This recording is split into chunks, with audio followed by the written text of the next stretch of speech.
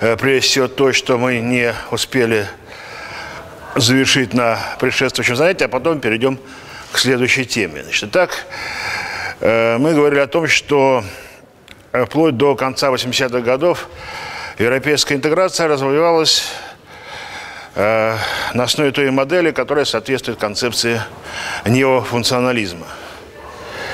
То есть Э, в центре внимания стояли задачи интеграции экономической, но решались они уже и э, при помощи политических средств и инструментов, хотя в ограниченном масштабе. Однако э, практика интеграции показала, что даже достижение цели экономической интеграции в рамках сугубо преимущественно экономических подходов невозможно. И тот уровень сотрудничества, который имел место в рамках вот предшествующей модели, не позволял все-таки достигнуть э, тех целей, которые ставились изначально, то есть создание единого экономического пространства, где вы свободно могли двинуться, двигаться капиталы, э, товары и люди. И вот э, с конца 80-х годов можно наблюдать постепенный переход на новую модель интеграции, которая соответствует концепции неофедерализма. Э, окончательно стало ясно э, в начале 90-х годов, особенно после подписания Маастрихтских соглашений, но так или иначе поворот стал э, заметен на рубеже 80-90-х годов. Сама концепция неофедерализма появилась гораздо раньше. Она начала формироваться в годы Второй мировой войны, но идея европейского федерализма еще более старая идея. Эта идея насчитывает уже не одно столетие. И, собственно говоря, и в средние века, и в новое время так или иначе она давала о себе знать. Э, в первой половине 20 века достаточно популярной была идея Соединенных Штатов Европы. Она озвучивалась многими э, политиками, учеными, о ней говорили и в разгар, и сразу же после окончания Второй мировой войны. Но идея Соединенных Штатов Европы – это идея традиционного классического федерализма. Она означала что? Объединение Европы по тому пути, по которому в свое время объединились Соединенные Штаты Америки. То есть из бывших колоний, ставших самостоятельными государствами, возникает новое федеративное государство. И именно такой путь э, означал реализацию лозунга Соединенных Штатов Европы. То есть вместо отдельных национальных государств создание единого федеративного государства в рамках всего европейского континента. Но обозначая конечную цель, авторы этой идеи, собственно говоря, не отвечали на вопрос, а как же эту цель достигнуть, каким путем к ней идти создать сразу же полноценное федеративное государство, что вытекало из этого лозунга, на месте имевших многовековую традицию самостоятельного существования национальных государств, ну, сама задача по себе чрезвычайно сложная и э, не имевшая, собственно говоря, каких-то разработанных э, планов решений. Идея неофедерализма – концепция неофедерализма. Концепция во многом принципиально иная.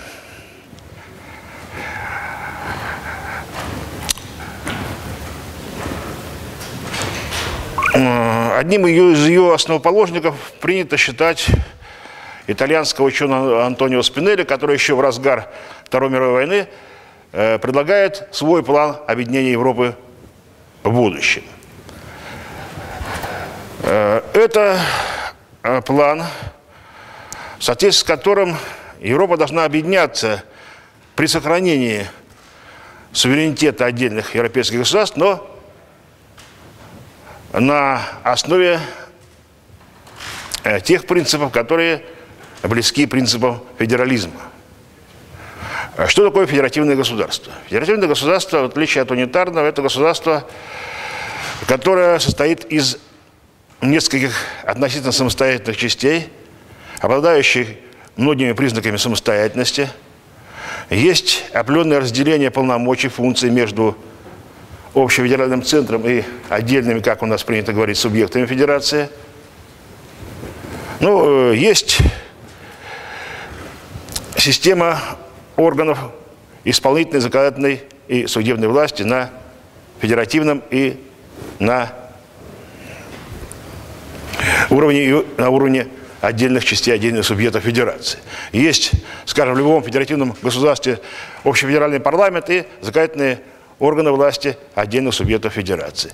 Есть общефедеральное правительство, есть исполнительная власть субъекта федерации. Есть судебная власть общефедеральная, есть судебные органы на местном уровне. Они действуют как единая система, но у них есть разделение полномочий, разделение функций. Есть правовая система на уровне федерации в целом и на уровне отдельных субъектов федерации. Ну, в отдельных федерациях законы отдельных субъектов могут существенно различаться. В Российской Федерации тоже, например, сегодня есть различия законодательных актов, принятых разных субъектах федерации, но она может быть не столь заметно, как, например, законодательство отдельных штатов Соединенных Штатов Америки, где, скажем, в одних штатах есть смертная казнь, а в других штатах она отсутствует. Тут значит, у нас это решается на федеральном уровне, там решается на уровне штатов. Эм, есть э, общая денежная система. Есть общая бюджетная фамилия политика в рамках федерации, но есть бюджеты отдельных частей федерации, которые формируются и выполняются самостоятельно. Есть налоги общефедеральные, а есть налоги местные, которые идут в соответствующие бюджеты, и здесь между ними есть определенное соответствие. То есть федеративное устройство предполагает большую самостоятельность отдельных частей государства – предполагает разделение полномочий, функций, но при этом означает наличие общего политического и правового и экономического пространства. Ведь в федеративном государстве нет внутренних барьеров, границы, которые есть между частями федерации, абсолютно прозрачны и для граждан федерации ничего ровным счетом не означают. Они свободно их пересекают. Есть общее гражданство федерации. В то же самое время в некоторых случаях в Мексике есть институт гражданства отдельных штатов. То есть, но при этом любой гражданин любого штата одновременно является гражданином государства в целом. Ну, идея Спинелли заключалась в том, что раз стоит задача европейского единства, интеграции Европы, то идти к этой цели необходимо не обязательно через упразднение суверенитета отдельных частей самостоятельных государств, а через объединение на основе создания общих европейских институтов, которые бы позволяли бы сделать из Европы единое целое, не нарушая суверенных прав каждого отдельного государства. То есть не надо упразднять то, что есть, а надо надстраивать на теме государственными, которые есть, общеевропейские институты. Нужно создавать Европейский парламент, Европейский суд, Европейское правительство, создавать европейское право, создавать единую европейскую денежную единицу, которая бы функционировала бы везде и всюду. Тогда таким образом внутренние барьеры, внутренние границы исчезнут. Но э, полного слияния здесь не будет, так же, как нет полного слияния, полной унификации в рамках федеративного государства между его отдельными частями. Каждое государство сохраняет ту долю самостоятельности, ту степень суверенитета, которые необходимы, передавая на уровень общеевропейских институтов только то, что необходимо в данный момент, то, только то, что нужно для того, чтобы получать выгоды от объединения, от интеграции. Ну, эти идеи носили абстрактно-теоретический характер до того момента, пока они не стали использоваться для принятия практических решений. К концу 80-х годов уже кое-что из того, о чем писал время Спинелли, в рамках Европейского экономического сообщества было достигнуто. Хотя и не в полной мере. Э, стали складываться в рамках предшествующего этапа интеграции общеевропейские институты. Но они функционировали как институты, как органы обычной, по сути дела, международной организации. Ну, например, существовал уже тогда Европейский парламент. Но Европейский парламент, вплоть до начала 90-х годов, представлял собой лишь межпарламентскую ассамблею государств, участников Европейского экономического сообщества. Межпарламентская ассамблея есть в любом, в любой международной организации. Есть межпарламентская ассамблея, например, в СНГ, в Европейском, в Российском экономическом сообществе Евразес. Э, то есть то, что здесь находится рядом в Таврическом дворце. Э, Межпарламентская ассамблея есть во многих других организациях. Они представляют собой органы, где представлены депутаты национальных парламентов государств-членов организации. Их не специально туда избирают, а делегируют для работы такого рода структурах. Э, была комиссия европейских сообществ, которая выполняла роль оперативного исполнительного органа Европейского экономического сообщества. Складывались системы европейских судов различного уровня. Э, для удобства расчетов, для облегчения условий взаимной торговли и инвестиций была создана единая расчетная единица денежного Европейского экономического сообщества ЭТЮ, которая представляла собой некую абстрактную единицу, э, которая, однако, активно использовалась в расчетах и помогала решать сугубо экономические вопросы. Так вот, э, Мастрихтские соглашения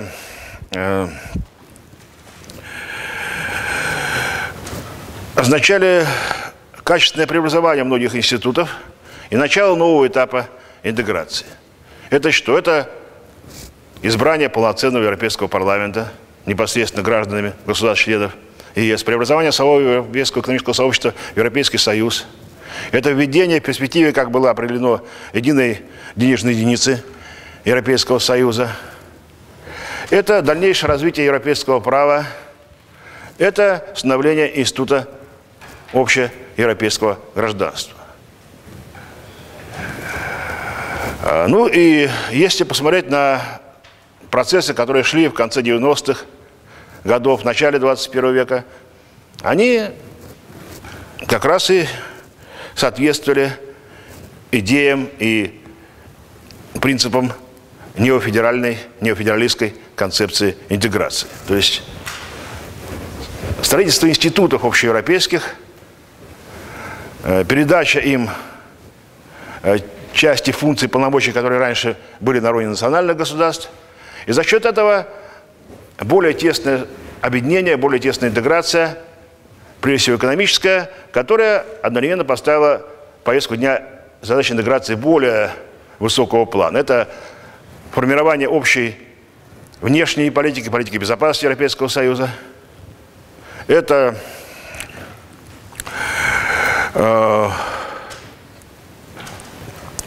углубление сотрудничества не только в экономике, но и в других сферах. Это э, получение дальнейших выигрышев, выигрышей из интеграции, которые давали странам ЕС э, преимущество в конкурентной борьбе на мировой арене.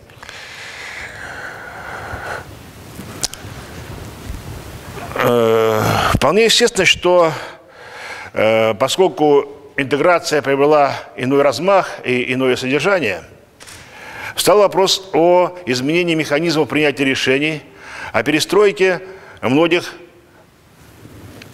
управленческих структур внутри Европейского Союза.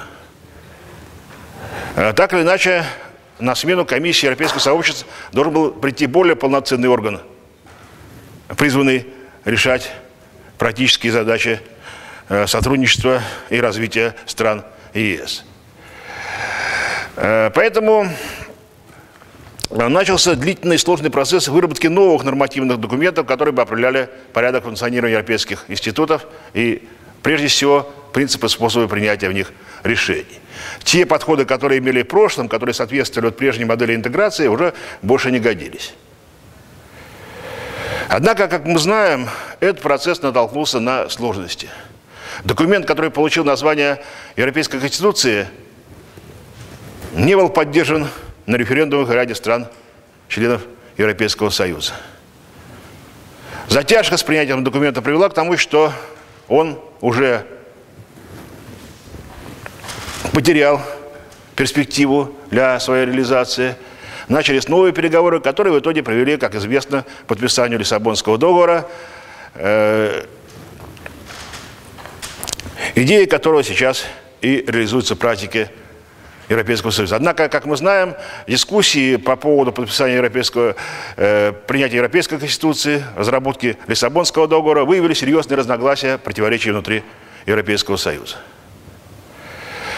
Э, трудности и противоречия проявились в последние месяцы недели уже в условиях мирового финансово-экономического кризиса, когда мы знаем, что э, некоторые страны ЕС оказались на грани серьезных проблем, возникла необходимость оказания им помощи, и вот здесь в руки Европейского Союза возникли тоже, опять же, разногласия.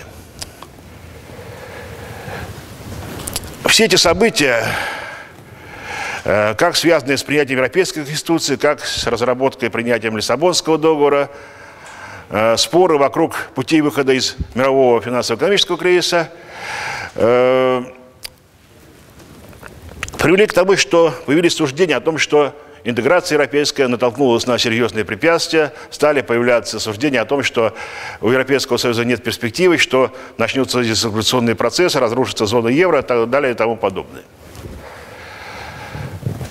А, почему вообще такие разговоры возникли и почему действительно реальные трудности в развитии ЕС последние годы проявились? А, на мой взгляд, для того, чтобы понять, вот, что происходит, надо вспомнить еще одну концепцию интеграции, которая в 60-е годы была разработана. Она связана с именем американского политолога Карла Дойче. Эта концепция э, Э, которая исходит из возможности двух типов интеграции. Один тип интеграции, по мнению Карла Дойча, должен приводить к созданию так называемого плюралистического сообщества. То есть сообщества, где отдельные элементы сохраняют очень большую долю самостоятельности, отличия друг от друга. Это плюрализм, это различие, так сказать, качественных характеристик, которые есть у участников интеграционного процесса. Второй тип интеграции должен вести к созданию того, что Карл Дойч назвал амальгамным или амальгированным сообществом. Амальгамное сообщество – это сообщество, если иметь в виду э, термин амальгама, сплоченные, глубоко интегрированные. Амальгама – это сплав, это то, что уже не несет в себе черт отдельных элементов, где они сплеваются в единую массу. То есть э, плюралистическое сообщество – это объединение, где есть общие интересы, общие цели, но полного единства, полного долженства нет. Очень большие различия сохраняются между участниками. Они достигают согласия по каким-то отдельным вопросам, но сохраняют большую самостоятельность в других вопросах. Амальгамное сообщество – это сообщество, где интересы, цели тесно переплетаются, где между участниками исчезают прежние существенные различия, где они представляют собой уже нечто единое, нечто целое. Для того и другого типа интеграции необходимы оговоренные Карлом Дойчем условия. Для первого типа достаточно, чтобы между участниками интеграции, между государствами, участвующими в интеграции, не было бы непреодолимых различий. Необходимость, чтобы элиты и лидеры этих стран активно интеграционные идеи поддерживали и были способны проводить их в жизнь. Необходимость, чтобы население активно не сопротивлялось, не саботировало процесс интеграции. Для второго типа интеграции необходимы более серьезные условия. Здесь недостаточно, чтобы элиты и лидеры активно участвовали в интеграционном процессе и сознательно к нему стремились. Здесь необходимость, чтобы между участниками интеграции, между самими государствами были бы существенные изначальные элементы сходства. Чтобы они были похожи бы по уровню экономического развития, по своим политическим системам, культурным традициям. Необходимо также, чтобы население активно поддерживало процесс интеграции, не просто было пассивно по отношению к нему не выступало бы активно против, а наоборот активно поддерживало, было бы готово идти на какие-то жертвы, на какие-то издержки ради достижения общих целей. Э, так вот, если иметь в виду э, тот тип интеграции, который был избран в рамках Европы, это то, что по Карлу Дойчу соответствует целям создания амальгамного сообщества. Европейский Союз должен превратиться, по идее, в нечто единое целое, хотя в экономическом смысле, чтобы выступать на мировой арене как самостоятельный центр с общими интересами, чтобы внутри Европейского Союза было бы достаточно тесное единство, общее пространство, политическое, экономическое, правовое и так далее. Но для этого, чтобы этого достигнуть, необходимо изначально, чтобы государства, участвующие в интеграции, были бы похожи друг на друга.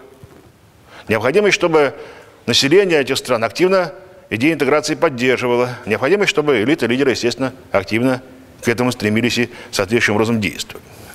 И, в общем-то, э, до начала 90-х годов в основном европейская интеграция соответствовала этим условиям. Ведь изначально в европейское экономическое сообщество вошли государства Западной Европы, которые, по большому счету, были весьма схожи между собой. У них были однотипные экономические системы, однотипные политические системы. Они так или иначе были близки друг другу в историческом, культурном отношении, хотя это не означает, что они были одинаковыми, но они были близки между собой. Но если мы вот так чисто визуально посмотрим на Западную Европу и сегодня, и в прошлом – Внешне мы не увидим каких-то различий, проезжая через одну или другую европейскую страну. Это само по себе говорит о том, что они схожи, они имеют где-то общие черты э, в экономике, в политике, в культуре, что предопределено прежним историческим развитием. Уровни экономического развития были не идентичны, но вполне сопоставимы. Были отдельные зоны бедности, отсталости, но они относительно общего европейского пространства были достаточно невелики. И в рамках европейской интеграции происходило выравнивание уровня развития. Ведь если мы возьмем 50-е годы создания по римскому договору Европейского экономического сообщества, скажем, 60-е 70-е годы, то мы увидим, что серьезные прошли изменения. Италия, которая на общем фоне, конечно, в то время, так сказать, э, выделялась, постепенно стала с другими западноевропейскими странами свои различия преодолевать. В самой Италии за эти годы прошло существенное снижение разрыва между севером и югом, которые традиционно там имели место. Почему? Потому что это было следствием всего процесса европейской интеграции, где одна из целей была выравнивание уровня развития, представление помощи тем регионам, тем районам, тем территориям, которые по каким-то причинам от общего уровня отставали. Ну вот, в начале 90-х годов процесс европейской интеграции – связаны с углублением сотрудничества, переходом интеграционного процесса на новую модель. Одновременно все это совпало с расширением Европейского Союза.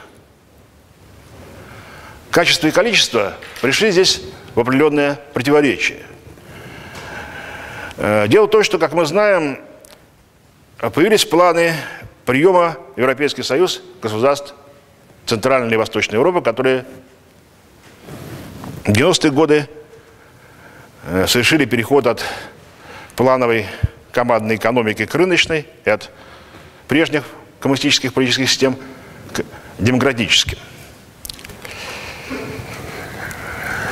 Вообще, изначально говорилось о том, что не все государства Восточной Европы, Центральной Восточной Европы годятся по своим критериям для полноценного участия в интеграции. Однако, в конечном итоге, э, победила иная точка зрения. Э, она исходит, исходила, в общем-то, из того, что Восточная и Центральная Европа посткоммунистический период оказалась в зоне потенциальной конфликтности. События на Балканах показали, что это может привести к самым печальным последствиям. И отсюда появляется мнение о том, что лучше эти государства включить в состав Европейского Союза для того, чтобы избежать вот тех последствий, которые имели место. К тому же э, были иные э, точки зрения, которые тоже сводились к тому, что э, Восточная Европа должна быть включена в процесс экономической интеграции, э, хотя бы уже потому, что одновременно восточноевропейские страны стали активно присоединяться к Североатлантическому блоку. Э, как результат, в состав Европейского Союза в 90-е годы были включены государства, которые изначально по своим цивилизационным, экономическим и прочим показателям отличались от большинства стран Западной Европы. Недаром в Польше, э, недаром во Франции, другие страны Западной Европы стали проявляться страхи по поводу того, что из Восточной Европы приедут множество работников, которые отнимут у коренных жителей их работу, э, стали появляться опасения по поводу того, что придется платить большие налоги. Э, и поэтому отношение рядовых граждан Европейского Союза к процессам расширения часто были негативными. Это сыграло свою роль в том, что население ряде стран проголосовало на референдуме против Европейской Конституции. Но и то, что дискуссии, разногласия возникли в процессе обсуждения и Европейской Конституции, и Лиссабонского договора, тоже говорили об этом. Ведь что получилось? Кто, например, больше всего возражал против общеевропейских документов, кто больше всего занимал особую позицию, что мешало достигнуть консенсуса? Скажем, Польша, другие некоторые государства Восточной Европы. То есть между ними и странами, э, старыми членами ЕС, стали возникать и проявляться разногласия. Но дело не только в Восточной Европе. Возьмем ту же самую Грецию. Э, Греция вошла в состав Европейского Союза, составляющего Европейского экономического сообщества, конечно же, существенно отличаясь от стран Западной Европы. Но в тот период европейская интеграция предполагала помощь Э, более отсталым странам. Источниками этой помощи была прежде всего тогдашняя Западная Германия, которая активно поддерживала европейскую интеграцию своим кошельком. И, кстати, до сих пор многие страны Восточной Европы, другие страны ЕС, которые по своим критериям отстают от общеевропейского уровня, по-прежнему смотрят на ФРГ как на источник возможной помощи. Что проявилось в последнее время? Кому обратилась Греция? На кого она в первую очередь ориентировалась? На ФРГ, на то, что именно ФРГ может оказать существенную помощь в выходе греческой экономики, греческого бюджета из э, того положения, в котором они сейчас оказались. Однако ФРГ современная, хотя она больше по размерам, по населению, по макроэкономическому потенциалу, чем ФРГ, прежняя малая Бонская республика, э, сама ФРГ сегодня не способна оказывать ту поддержку, другим членам ЕС, что было раньше. Ведь до конца 80-х годов Западная Германия была динамично развивающимся государством, которое, не занимая заметного места в мировой политике, вошла в число ведущих экономических держав мира.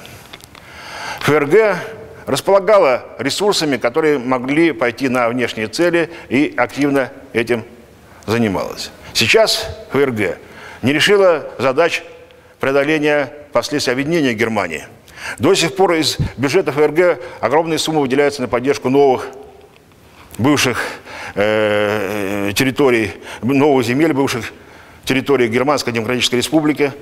Население западных земель платит дополнительные налоги, которые идут на эти цели. Э, в этой ситуации у ФРГ нет лишних денег для того, чтобы оказывать помощь другим членам Европейского Союза. У населения ФРГ и без того замученного высокими налогами нет желания еще больше раскошеливаться в пользу уже не немцев, а кого-то другого.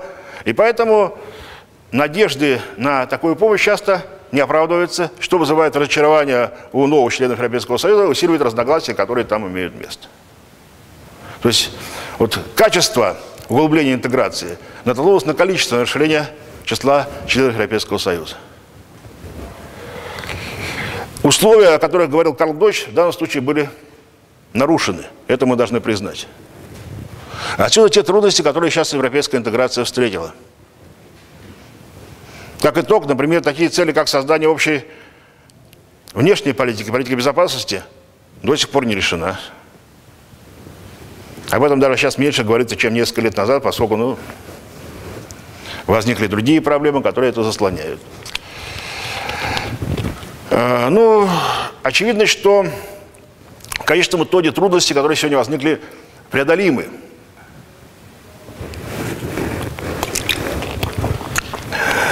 Но, несомненно, и то, что процесс углубления интеграции замедлился вследствие этого.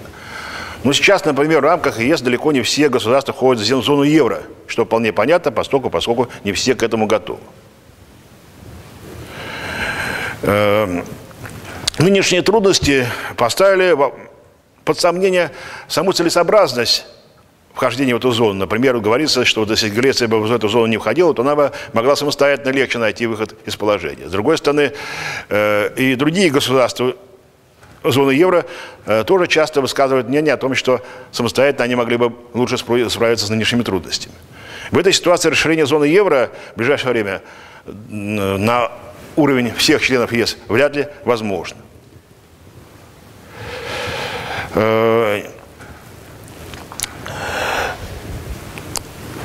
Очевидно, что процесс дальнейшего расширения Европейского Союза тоже сейчас э, станет вопросом серьезного обсуждения. Из ближайших кандидатур, которые могут быть рассмотрены, о которых может быть идти речь, это государства Балканского полуострова. Часть из них уже стали членами ЕС, другие находятся в непосредственной очереди. Вот эти государства вполне возможно еще и получат членство в Европейском Союзе, поскольку, поскольку это связано с политическими во многом соображениями. Ну, например, перед Сербией стоит дилемма какая вот официально, что если Сербия получает место в ЕС, то Сербия должна согласиться с ситуацией вокруг Косово. Это вот некая приманка, которая в данном случае используется, и она может быть действенной. А вот что касается расширения ЕС в более широком масштабе, то это сегодня, очевидно, как минимум задача очень-очень отдаленного будущего, если она вообще может быть актуальной. А Турция, которая уже не одно десятилетие стучится в двери Европейского экономического сообщества, ну, Европейского Союза, очевидно, так в эти двери будет стучаться еще очень и очень неопределенно долгое время. Вряд ли реальное членство в ЕС таких государств Восточной Европы, как, скажем, Украина, которая по своим размерам, по своей территории, по своему потенциалу слишком велика для того, чтобы в нынешней ситуации рассчитывать на полноправное членство в ЕС. И это, очевидно, э, должны сегодня все понимать, и из этого исходить, и из этого делать расчеты на будущее. Э, ну, э, интеграция в мире имеет место не только в рамках Европы. Так или иначе, процессы глобализации поставили в повестку дня необходимость интеграции на региональном уровне. Э, план интеграции есть в Южной Америке, Восточной Азии. Эти планы есть и на постсоветском пространстве. Так вот, когда говорится об интеграции на постсоветском пространстве, нужно не просто рассуждать о прожном единстве, о э, имевшихся место связях, а использовать теоретико-методические подходы, которые известны в мире, тот опыт, который имеет место. Ну, об этом мы поговорим отдельно, когда у нас дело дойдет до вопроса развития международных отношений на постсоветском пространстве. Э, теперь же определенным опозданием мы должны перейти к следующей теме, а именно э, теоретические дискуссии по вопросам мировой политики и международных отношений после окончания Холодной войны. Э, теоретические дискуссии по вопросам мировой политики и международных отношений после окончания Холодной войны. Э,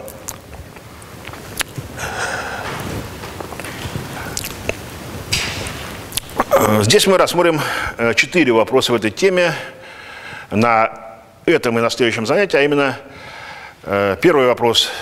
Концепция конца истории Фрэнсиса Фукуямы. Концепция конца истории Фрэнсиса Фукуямы. Э, второй вопрос.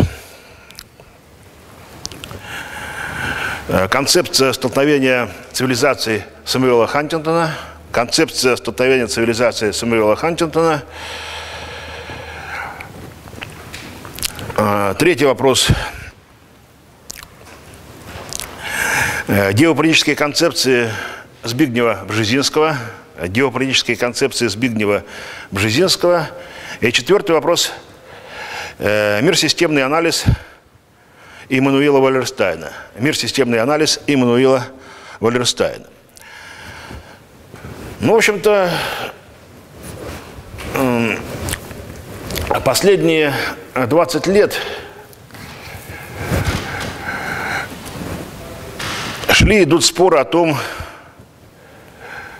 каково основное содержание мировой политики в новых условиях, что изменилось в мире после окончания Холодной войны, каковы перспективы общемирового развития. Естественно, что здесь высказываются разные позиции, разные точки зрения.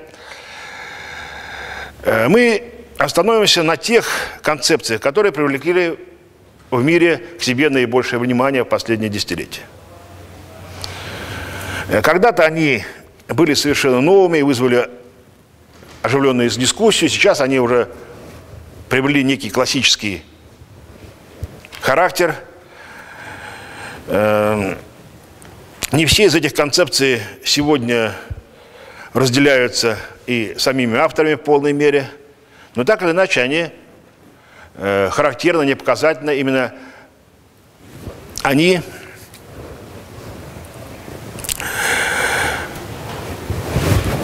обратили внимание на наиболее важные проблемы а, современного мирового развития. При этом э, каждый из этих авторов, о которых мы говорим, представляет собой одну из традиций, одно из направлений в истории э, политической мысли, э, с изучением международных отношений.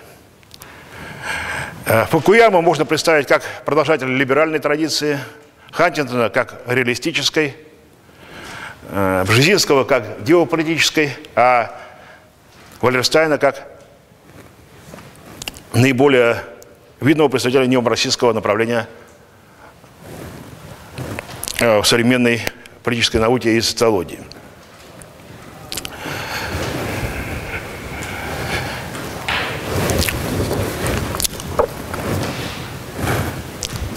Мировая политика с окончания Второй мировой войны и вплоть до конца 80-х годов определялась противоборством двух сверхдержав, двух э, систем.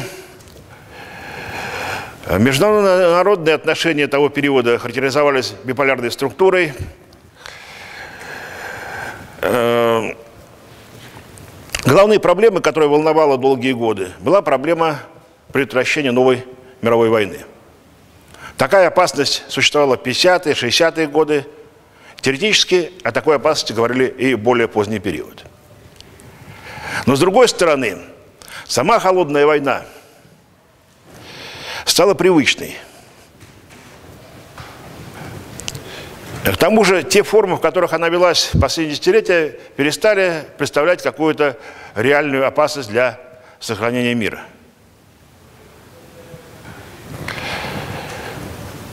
Поэтому э, все прогнозы относительно развития международных отношений, на, относительно тенденций мировой политике на конец 20-го, начало 21 века исходили, в общем-то, из сохранения существующего положения вещей. Прогнозировали, что, скажем, потенциал США там несколько уменьшится относительно потенциала других центров силы. Возрастет роль Европейского Союза, Европейского экономического сообщества, да, еще возрастет роль Китая.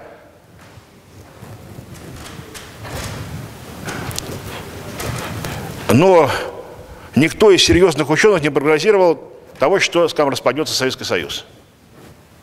Все прогнозы начала 21 века, они основывались на том, что вот биполярная система в, той или иной, э, в том варианте сохранится.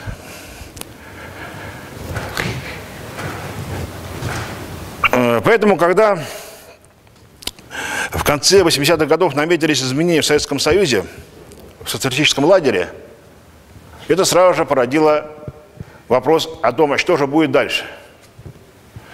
Чего можно ожидать в мировой политике конца 20-го, начале 21 века. А, так вот,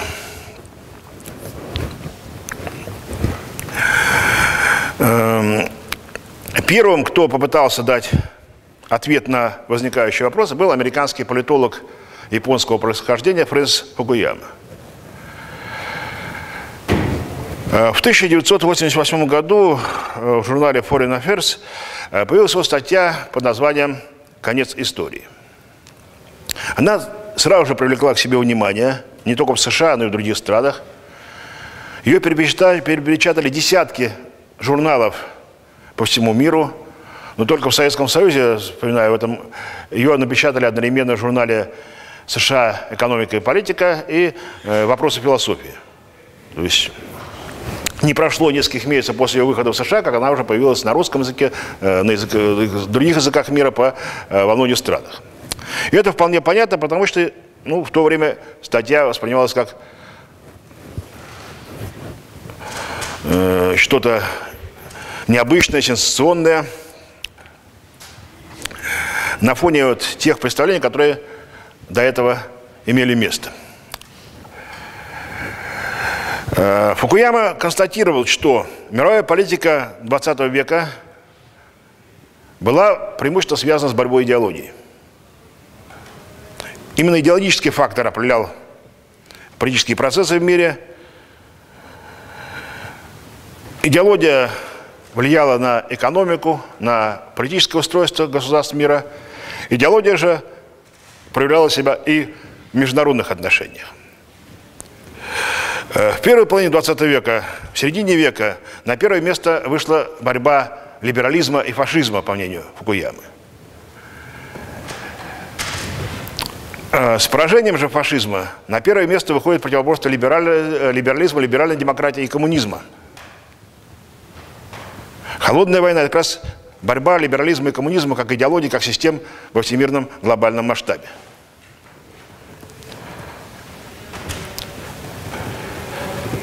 Однако, э, по мнению Фукуямы, эта борьба стала подходить к концу. Об этом, по его мнению, свидетельствовали те изменения, которые происходили в крупнейших коммунистических государствах того мира, в Советском Союзе и Китае. В Советском Союзе э, стали говорить о экономических реформах, о перестройке, Эти реформы по своей сути идут в разрез самой коммунистической идеологии. А в Китае эти реформы уже начались реально, и они на практике означают отказ от коммунистических принципов организации экономики. Почему это произошло? Потому что на основе коммунистической идеологии эффективной экономики создать не удалось. И значит, реформы, которые идут в разрез с марксистским учением, по своей сути, означают э, то, что коммунизм расписывает свои неспособности решить экономические вопросы, и значит, споры исторические между коммунизмом и либерализмом завершается в конечном итоге победой последнего. Э, конечно, констатировал Фукуяма, э, коммунистические партии сохраняют власть и в Советском Союзе, и в Китае. Ну, речь шла о 1988 годе. И они эту власть, по его мнению, могут сохранить еще достаточно долго. Но это ничего, ровно счета, уже не будет значить, поскольку, поскольку коммунизм перестает быть альтернативой общественного развития. Рано или поздно все страны, все народы мира придут к общим универсальным ценностям. Это ценности либеральной демократии и рыночной экономики. Нет больше спора о типах политического и экономического устройства. Нет споров о направленности и перспективах общественного развития.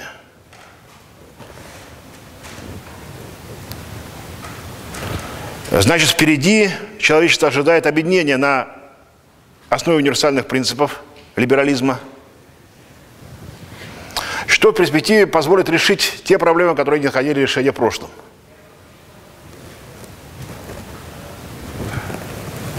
Можно будет объединиться ради решения глобальных проблем, ради преодоления бедности, отсталости, общими усилиями найти пути решения конфликтной ситуации в мире.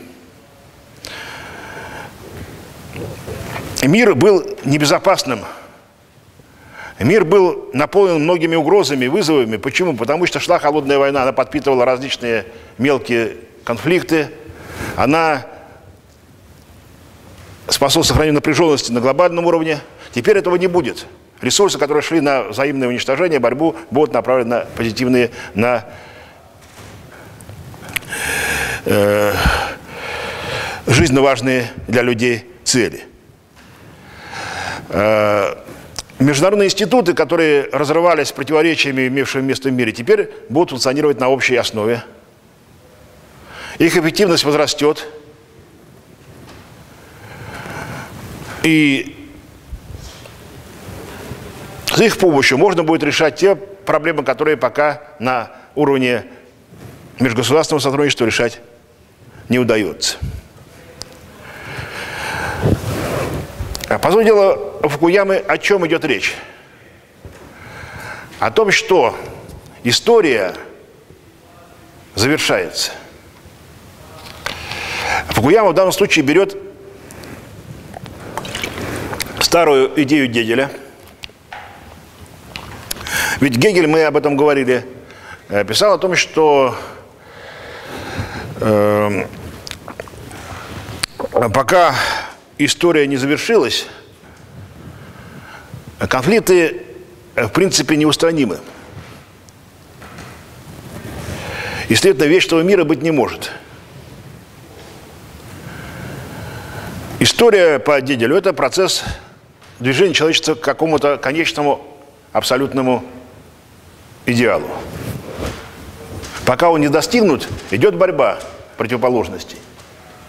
А раз так, то никакого спокойствия, никакого мира вечного быть не может. Но если это достигнуто, то вечный мир наступает. И вот у Фукуямы эта идея возвращается. На протяжении предшествующего развития человечества была история, история, связанная с борьбой разных э, интересов, идей, ценностей – Теперь же люди делают окончательный выбор. Человечество начинает двигаться в конечном итоге к единому знаменателю, объединяется на основе универсальных ценностей, значит борьба прекращается, история завершается. История завершается победой либерализма во всемирном масштабе. Политические и экономические системы всех стран мира со временем станут однотипными – разногласий и противоречий между ними уже прежних не будет. И значит, все, что было плохое, остается в прошлом. Впереди нас ждет некий золотой век, где проблемы человечества найдут свое окончательное решение. Ну, концепция Фукуямы отразила те оптимистические ожидания, которые стали нарастать в мире в конце 80-х годов. Ведь холодная война, если иметь в виду противоборство, в том числе военное, между сверхдержавами, блоками военными, стала идти к завершению.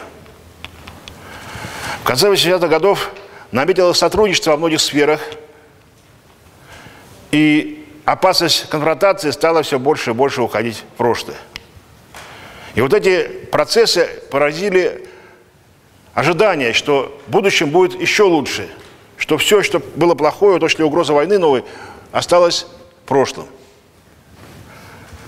Э, все, что не, могло, не могли решить до сегодняшнего дня, будет решено. И действительно, в конце 80-х, начале 90-х годов были крупные подвижки в решении ряда старых конфликтных ситуаций. Например, удалось регулировать ситуацию в Камбодже. Э, были сделаны серьезные шаги на пути ближневосточного урегулирования. Как раз э, конец 80-х, начало 90-х годов – это достижение ряда важных соглашений – изменение структуры самого ближневосточного конфликта. Казалось в 1992 году, что этот конфликт, ну не сегодня-завтра, найдет свое полное разрешение.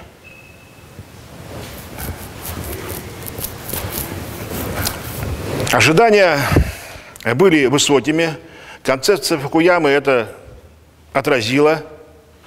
И о конце истории, как о победе либерализма, стали многие активно говорить в начале 90-х годов.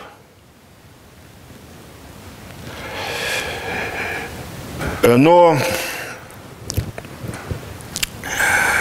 э, прошло несколько лет после того, как холодная война, ну, кстати, э, когда завершилась холодная война, это определенная загадка истории, потому что есть много вариантов, много дат называется. В качестве окончания холодной войны называют падение Берлинской стены в ноябре 1989 года. Развал Советского Союза в декабре 1991 года. Э, террористические акты в Нью-Йорке и Вашингтоне 11 сентября 2001 года. Значит. Называются другие даты, но в том числе вот, э, журналисты могут здесь вообще допускать вольности. Недавно, буквально на прошлой неделе, читал о том, что подписание договора о стратегических наступательных вооружениях очередного между Россией и США, это и есть окончание холодной войны. То есть вот ее сроки здесь разбрасываются от 89 -го года вплоть до нынешних дней. Значит, поэтому э, единой точки зрения нет, но так или иначе это рубеж 80-90-х годов. И Берлинская стена, и Агровский путь в СССР, и распад социалистической системы в Восточной Европе, и распад Советского Союза, все это вехи, которые означали преодоление прежнего периода международной политики, начало нового. Но начало 90-х годов оказалось не таким радужным, как это незадолго до этого представлялось. Вместо ожидаемого преодоления конфликтной ситуации мир столкнулся с новыми конфликтами, причем там, где это никак раньше не ожидалось. Ну что происходило в начале 90-х годов, вспомним. Это что? Это конфликты на территории бывшего СССР, Нагорный Карабах, например, Приднестровская республика. Это конфликты в бывшей Югославии, Босния и Герцеговина, Хорватия, Косово. При этом отнюдь не изменилась к лучшему ситуация во многих традиционных зонах конфликта в мире. Это индо-пакистанский конфликт, ближневосточный конфликт, Юго-Восточная Азия.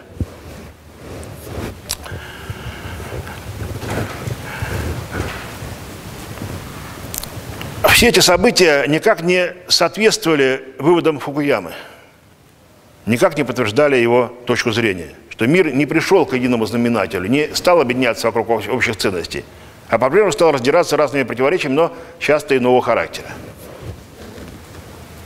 И вот ответом своеобразным на Фукуяму, на концепцию Фукуямы, стала концепция Хантингтона, концепция столкновения цивилизаций.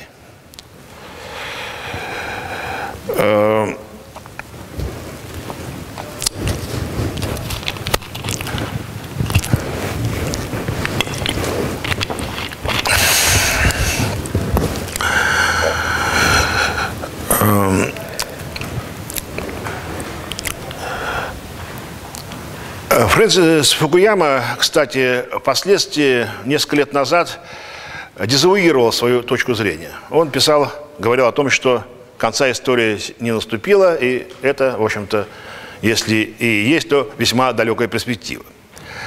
Э, но в начале 90-х годов немало было тех, кто его позицию разделял и проявлял оптимистические представления о ближайшем будущем. Так вот, э, ответом на все это стала статья э, Самуэла Хантингтона, которая была опубликована в том же самом журнале Foreign Affairs э, в первом номере за 1993 год.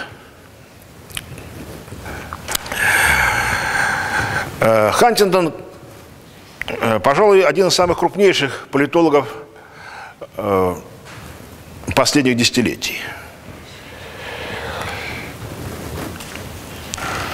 В конце 2008 года он ушел из жизни, но, в общем-то, его имя, я думаю, останется в политической науке еще не одно десятилетие. Он известен своими работами в области проблем модернизации развивающихся стран – Э, широкую известность получила в последние десятилетия его концепция третьей волны демократизации. Но, пожалуй, наиболее известен он именно как автор концепции столкновения цивилизаций. В 1993 году Хантингтон опубликовал статью, а в 1996 году развернул ее в целую книгу «Столкновение цивилизации и преобразование мирового порядка». Э, и работы Фукуямы, работы Хантингтона, работы Бжезинского, работы Лерстайна широко издавались в последние годы у нас в России в разных вариантах. С ними со всеми, естественно, можно и нужно знакомиться по-прежнему. Э, ну, что касается э, постановки вопроса в первой статье Самуэла Хантингтона. Хантингтон согласился с Фукуямой относительно того, что мировая политика э, первой половины 20 века была связана с борьбой идеологий. Эта борьба идеологии продолжалась и вплоть до конца 20-го столетия. Но задается вопросом Хантингтон. Откуда эти идеологии произошли? Все эти идеологии родились, в общем-то, в одном и том же месте – это Западная Европа. Там появился и либерализм, там появился и социализм, коммунизм, там появился фашизм. А уж потом эти идеи в той или иной степени стали распространяться по всему миру. Такое положение отразило ситуацию, когда страны Запада, страны Европы, страны Запада в широком смысле слова играли решающую роль в мировой истории. Именно страны Запада были субъектами исторического процесса, а все остальные были его объектами. Даже мировые войны 20 века и то начинались как войны стран Запада, а уж потом превращались в общемировые войны, куда остальные страны народа втягивались в силу обстоятельств.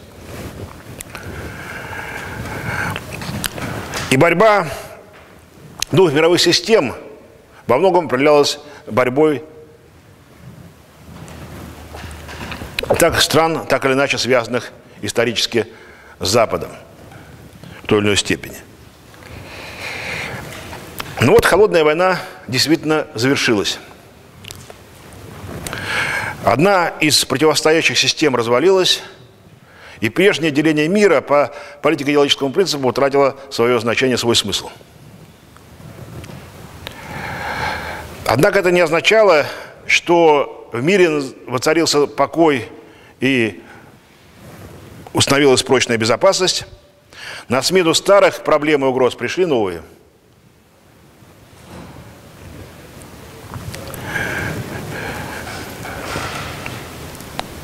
Оценивая то, что происходило в начале 90-х годов, Хантингтон делает вывод о том, что на смену политико-идеологическому размежеванию мира пришло размежевание по цивилизационному принципу.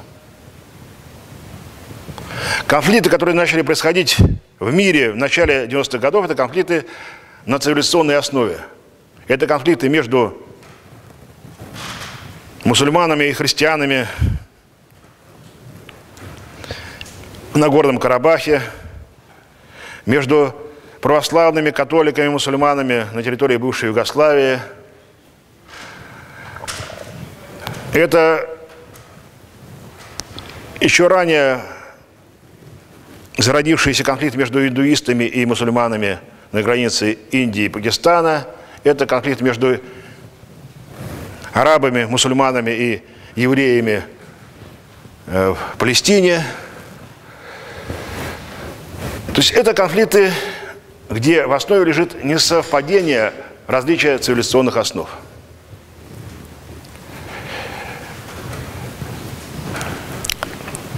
И делает вывод Хантингтон. Будущее мировой политики связано с конфликтами этнического характера на локальном уровне и цивилизационными конфликтами на глобальном.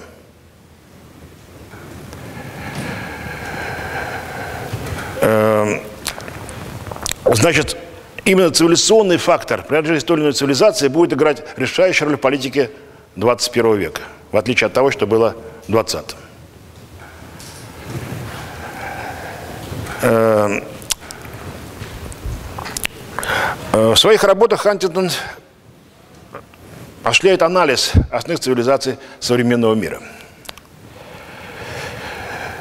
Э, ну, э, понятие цивилизации, как известно, понятие одно из самых неопределенных в общественных науках, поскольку термин цивилизация используется в самом разном контексте. Для Хантингтона цивилизация – это социокультурное общество самого широкого общего плана. Заметить цивилизационные отличия и цивилизационную близость можно лишь на значительном расстоянии от самого объекта наблюдения. Как пишет Хантингтон, если мы будем находиться в Нигерии, то мы будем различать людей по тому, к какому племени они относятся. Если мы будем в Лондоне, то мы будем оценивать людей с черной кожей по тому, из какой страны Африки они прибыли. И племенные различия при этом уже нас волновать не будут, мы их замечать не сможем. В Нью-Йорке мы будем различать людей с черным цветом кожи, потому являются ли они коренными американцами, афроамериканцами, либо они являются выходцами из Африки. А в других частях мира мы уже будем смотреть на всех людей с цветом кожи как представители негроидной расы, отличая от других. То есть в одном случае мы всех определяем в одну категорию негры, скажем, а в другом случае мы э, замечаем, к какому племени кто из них относится.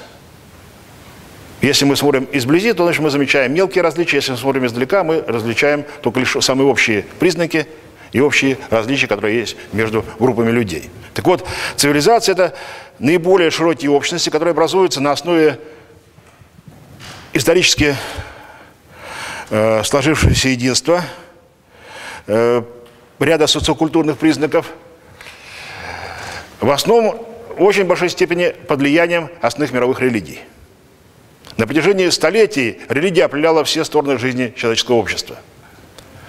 Поэтому люди, которые принадлежали к одной и той же религии, постоянно между собой общались и взаимодействовали, несмотря на национальные различия. И наоборот, люди, которые принадлежали к разным религиям, были разделены религиозными барьерами, что мешало их общению. В итоге что получилось? Там, где была общность религиозная, там сложились определенные схожие черты общественных отношений институтов, традиций. Там, где эти различия, наоборот, имели место, где были барьеры, это стало проявляться в различиях в общественной жизни, что в итоге закрепилось. В итоге одни народы похожи друг на друга, потому что они имеют общие корни – общую основу. Другие, наоборот, различаются, потому что у них основы различные.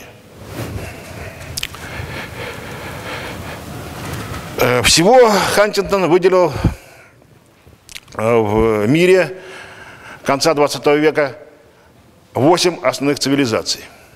Это западная или западно-христианская цивилизация, которая охватывает страны и народы Западной и Центральной Европы, Северной Америки, а также некоторых других регионов мира – это православно-славянская цивилизация, которая охватывает э, страны, традиционно исповедующие православную версию христианства, причем значительная часть из них в этническом отношении относится к славянам. Это Россия, Украина, Белоруссия, Болгария, Сербия, Македония, а также Греция, Румыния, другие страны, где традиционно было распространено православие.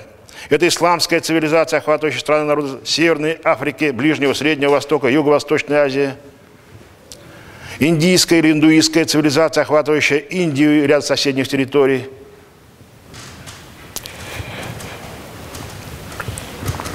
Японская цивилизация, охватывающая японские острова, Японию. Буддистско-конфуцианская цивилизация, охватывающая Китай и соседние страны Восточной Азии – Латиноамериканская цивилизация, охватывающая страны, народы Южной и Центральной Америки. И, наконец, африканская цивилизация, охватывающая страны, народы Центральной, э, Южной э, тропической Африки. В одних случаях в основе цивилизации лежат мировые религии. Это касается западно-христианской, православно-славянской, исламской э, цивилизации –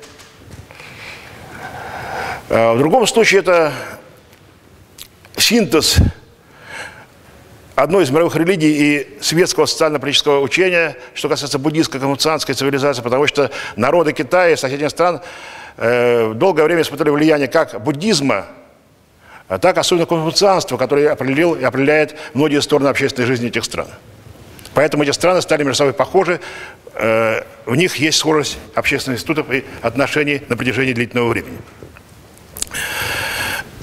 Некоторые цивилизации возникли в силу исторических обстоятельств. Например, японская цивилизация. Япония всегда имела отличие от соседних стран Восточной Азии, поскольку расположена на островах. Но вплоть до середины XIX века развитие Японии соседних стран было все-таки во многом схожим. Однако в 60-е годы XIX века Япония вступила на путь модернизации – Раньше других стран соседнего региона прошла по этому пути, и поэтому э, в середине 20 века стала существенно отличаться от соседних стран. Вот этот синтез самобытности японской культуры в целом, как островного государства, плюс к этому иной вариант развития последнего столетия определили то, что японская цивилизация имеет отличие от остальных и выделяется в качестве самостоятельной единицы в цивилизационной структуре мира.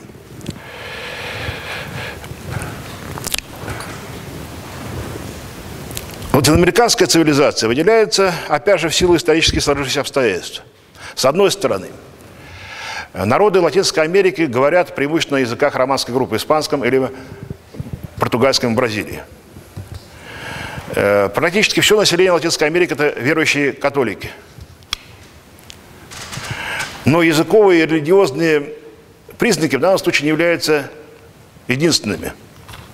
Латинская Америка населена тем, это, с одной стороны, выходцы из Европы, их потомки, а с другой стороны, коренное индейское население. В разных странах пропорция между выходцами из Европы и индейцами различна. Скажем, если в Перу 90% населения, это даже больше, почти 95%, э, это чистые индейцы, а в Боливии почти 99%, а то в Аргентине почти 100% это выходцы, потомки выходцев из Европы. Эм, но тут важно другое, наверное. Важно то, что Латинская Америка 150 лет последних развивается по своему особому пути. Эти десятилетия, столетия определили особенности Латинской Америки по отношению к другим регионам мира. Латинскую Америку мы не спутаем ни с Европой, ни с Азией. Издали она выглядит как единое целое, отличное от того, что есть в других регионах мира. И здесь эти все признаки католическая религия и испанский или португальский язык, индейские или европейские корни приплетаются э, с самобытным путем общественного развития, который имел место последние десятилетия, столетия и дал некую новую цивилизационную общность. Африканская цивилизация – это страны и народы, которые в своем социально-экономическом развитии отстали от большинства других регионов мира. Но африканская культура самобытна, она имеет глубокие корни. Африканские народы в большинстве своем исповедуют местные религиозные культы, хотя формально многие из них являются либо мусульманами, либо христианами. Африка тропическая на протяжении многих десятилетий была зоны колониальных владений европейских государств. Вот все это вместе определило особенности африканского континента, которые проявляются в экономике, в политике, в международных отношениях, которые позволяют эту цивилизацию выделять в качестве отдельной самостоятельной. Э, цивилизационные различия имеют место по Хантингтону, они были всегда, но в 20 веке по мере роста роли идеологии они стали уходить на задний план. Во второй половине 20 века государства различались по тому, к какой системе политической, экономической они относились. Были государства социалистические, капиталистические, развивающие страны различной ориентации. Это все проявлялось и в политике. Но в 90-е годы эти различия уходят в прошлое. И на этом фоне обнаруживаются различия более глубокого свойства, которые были всегда, но которые раньше были незаметны. Страны стали различаться по тому, к какой цивилизации они имеют отношение. Почему это, э, в чем это выразилось по Хантингтону? В том, что в начале 90-х годов проявился так называемый синдром братских стран, когда отношение к странам конфликта, конфликтная ситуация определялась цивилизационной принадлежностью. Это он подтверждает примером конфликта в Боснии и Герцеговине. Э, по Хантингтону православные государства, Россия или Греция, например, проявляли большую симпатию к сербам. Западноевропейские государства к хорватам и словенцам, католикам. А мусульманские и исламские государства оказали поддержку боснийцам мусульманам даже вопреки санкциям Организации Объединенных Наций. Значит, отношение к странам конфликта определялось тому, тем, к какой цивилизации то или иное государство относится. Значит, почему? Потому что это братская страна. Синдром братских стран по Хантингтону стал проявляться вот в этих событиях. С другой стороны, сами конфликты это происходили именно там, где имело место столкновение, соприкосновение цивилизаций между собой. Вот там, где цивилизации непосредственно примыкают друг к другу, там на линии цивилизационного разлома эти конфликты стали происходить. Э, Кавказ, Балканы, там, Южная Азия, Юго-Восточная Азия, везде, где вот эти цивилизации сходятся, там зона конфликтов обнаруживается. Но это то, что имело место в начале 90-х годов. Это первые признаки того, что наступает эпоха цивилизации. Эпоха цивилизации в мировой политике. В будущем по Хантингу это будет сказываться в еще большей степени. И вот на 21 век Хантингтон прогнозировал усиление конфликтности по линии Запад-не Запад. Западная или западно-христианская цивилизация охватывает лишь десятую часть населения мира. Но одновременно страны этой цивилизации контролируют большую часть мировых ресурсов – на долю стран Запада приходится большая часть экономического, политического и военного потенциала мира. Это явное неравенство, которое стало следствием развития последних столетий. Доминирующее положение Запада вызывает недовольство в незападных странах. Это недовольство ложится на цивилизационные различия, которые есть между Западом и незападными странами. И значит, может стать пищей, почвой для возникновения обострения конфликтной ситуации по линии отношений Запад-не Запад.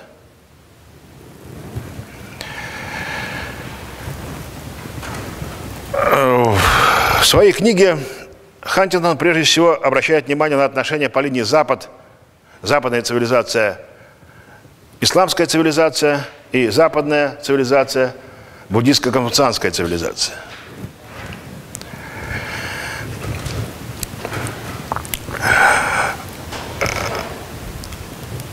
Отношения между западной цивилизацией, западно-христианской цивилизацией и исламской цивилизацией э, в наибольшей степени э, привлекали внимание Хантингтона. Э, причем это имело место до известных событий начала 21 века, когда значит, обострилась проблема исламистского э, терроризма. На что обращал внимание Хантингтон? На то, что отношения христианства и ислама сами по себе являются сложными – Ислам и христианство – две мировых религии, очень схожих между собой, но имеющих существенные различия. ислам и христианство претендуют на экспансию, на расширение своего влияния. И эта экспансия часто сталкивалась между собой. В истории отношений христианства и ислама были такие события, как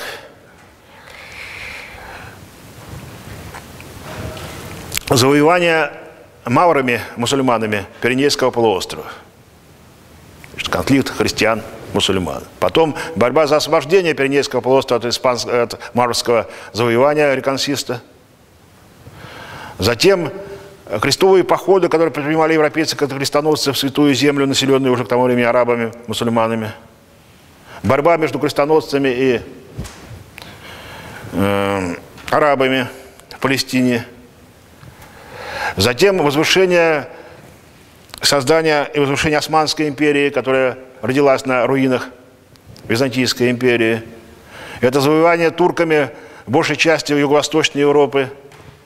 Турки доходили даже до Вены, ее осаждали. Потом имели место колониальные захваты европейских государств в Африке, в Азии, в странах, территориях, где живут мусульмане. В 20 веке имело место движение, которое часто проходило под исламскими лозунгами. Здесь Хантинг вспоминает, например, Алжир, другие территории, где действительно национально борьба часто разворачивалась под религиозными знаменами.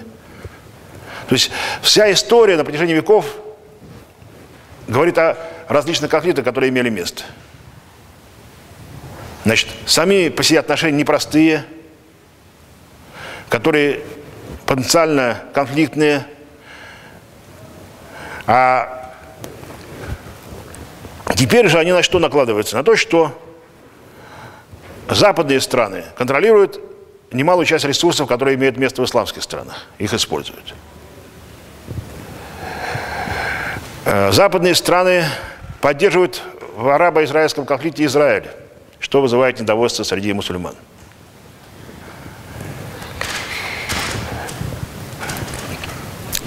При этом западная, западохристианская и исламская цивилизация непосредственно территориально между собой соприкасаются в зоне бассейна Средиземного моря на Ближнем Востоке.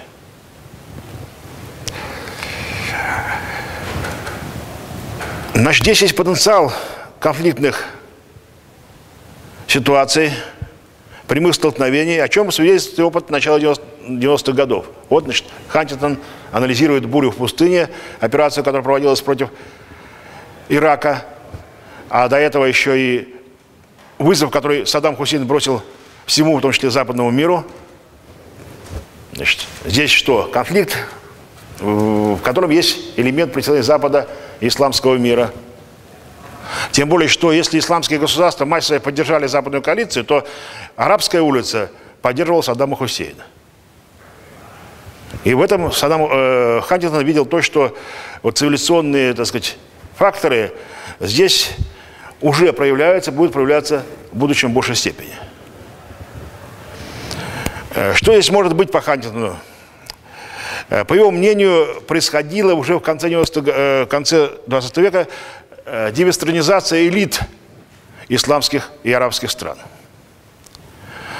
В середине 20 века шел обратный процесс. В процессе модернизации многих стран Востока шло заимствование европейских западных ценностей, особенно проявилось на уровне элиты. Э, представители элиты получали образование в странах Запада, часто переориентировались на западные ценности. Э, многие арабские и исламские страны в 50-е, 60-е годы начали копировать западный опыт.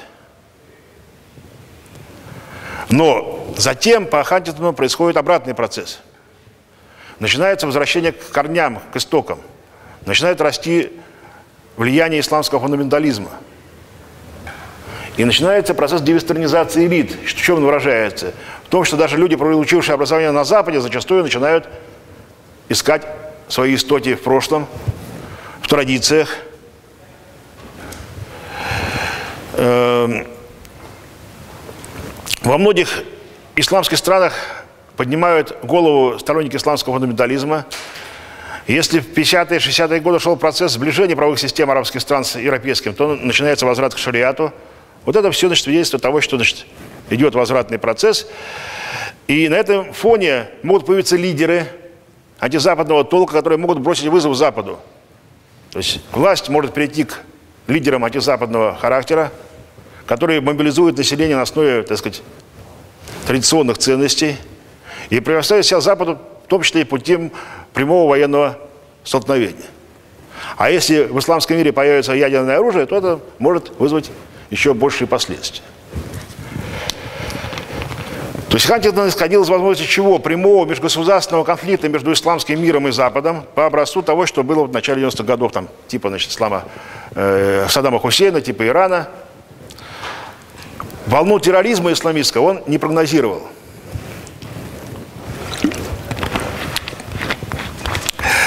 Э, Хантингтон одновременно с исламской опасностью для Запада видел опасность буддистско-конфуцианскую. Ну, понятное дело, что он сводил ее к китайской угрозе. Э, в каком плане? По мнению Хантингтона, Китай, вступив на путь реформ, постепенно меняет свою политическую экономическую систему, прежде всего, быстро развивается, но Китай может перестать быть коммунистическим, но от этого не станет западным. Цивилизационные основы у вас становятся другими. А у Китая и Запада могут возникать в будущем противоречия по многим вопросам, э, спор и борьба за ресурсы, что на фоне цивилизационных различий может привести к крупному конфликту. То есть возвышение Китая для Запада потенциально представляет тоже угрозу, на которую должно обратить внимание. Тем более, что по Хантингтону возможно вполне сотрудничество между исламскими странами и Китаем, что, по мнению его, опять же, говорит, говорили такие факты, как помощь Китая в осуществлении ряда программ военного характера Ирану и ряду арабских стран. Значит, вот здесь опасность, на которую нужно обратить внимание, э, исходя из того, что Запад при всем своем могуществе составляет лишь ничтожную часть всего человечества и в будущем может столкнуться с серьезными вызовами страны незападных стран. В связи с этим по Хантингтону нужно было предпринимать срочные меры, э, которые он и приложил вниманию. А, так, ну что, значит, на этом у нас время сегодняшнее стекло, значит, мы э, прерываемся, чтобы э, следующем занятии с этого момента, э, с того, как видел Хантингтон выход из ситуации, в которой может оказаться Запад в 21 веке, и что на самом деле в мире происходило и происходит, как можно оценить концепцию Хантингтона с позиции сегодняшнего дня.